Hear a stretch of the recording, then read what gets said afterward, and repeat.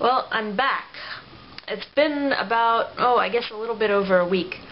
I was working, um, I was working kind of constantly for the past week or so, and that's why I've been a little bit absent.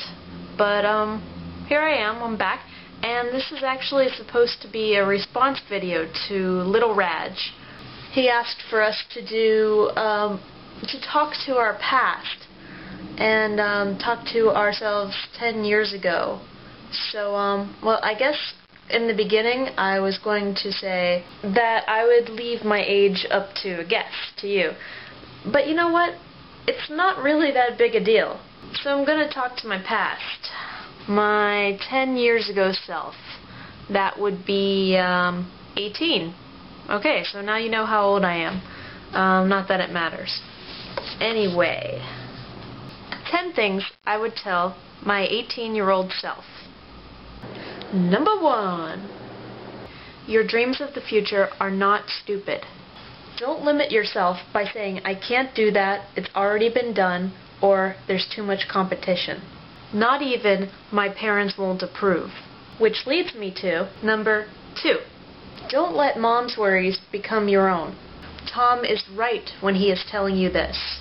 Remember to be your own person and not always play by parental rules but you should definitely heed advice when sensible.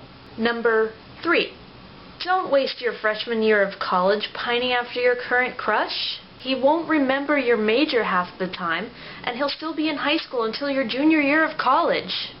Number four, you're going to make more good friends than you could ever imagine. So, smile. It's number five. Senior year of college, you go to Japan. I know. Exciting, right? Okay. Don't spend so much money on manga and doujinshi, I'm telling you, because you won't be as into anime later on, believe it or not. But hey, if it makes you happy to buy all that, no harm done. Just remember that it's going to cost more to ship all that stuff back to the US than it is for you to buy all that in the first place. Okay? So, just think of that. Number six. Treasure your time with your family. You will miss them a lot when you move to California. 7. After graduating Winchester, which you will soon, make sure to spend some time hanging out with Joe Cheatham. Try to remember how he supported you when you tried to keep your, you know, your little your geeky X-Files club going after middle school um, you know, it was really popular in middle school, and I'm probably telling you what you already know, but then the boys tried to um, take over your club's popularity with their stupid Simpsons club. Not that I don't love The Simpsons, but Joe was the only one who tried to help you keep it going, so remember that. He's a really good friend. I'm not sure I should mess up the space-time continuum telling you why I want you to spend more time hanging out with him. But, um, heck, I've probably done that now. Joe, um, Joe won't be around for too many more years. Basically, he doesn't make it past 23 years old. So, um, I want to make sure you, I, don't regret not having spent more time with such a good friend. Drive carefully. I can't say it enough. And avoid assholes on the road. Use good judgment when you're driving too. Believe me. Something's going to happen with your jaw, which I'll explain later. You're predisposed to it already, but um, just please drive carefully and use good judgment. Number nine. Don't stop doing theater after you're in the Hudsucker Proxy freshman year of college. You're going to enjoy it a lot.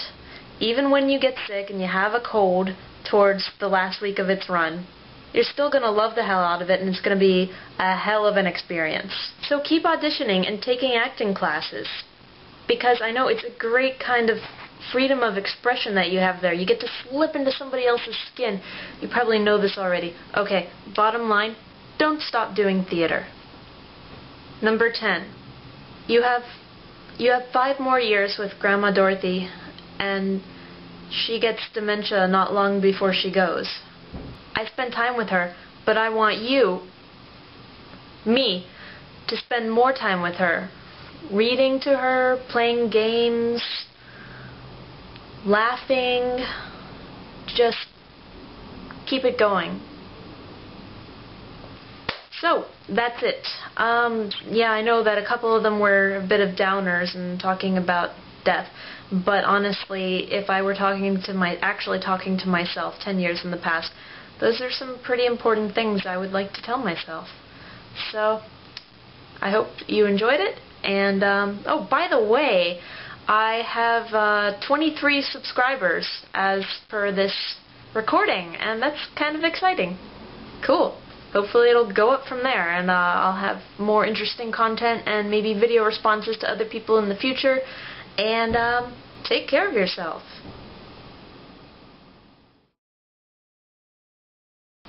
I always feel like somebody's watching me, and I got no privacy.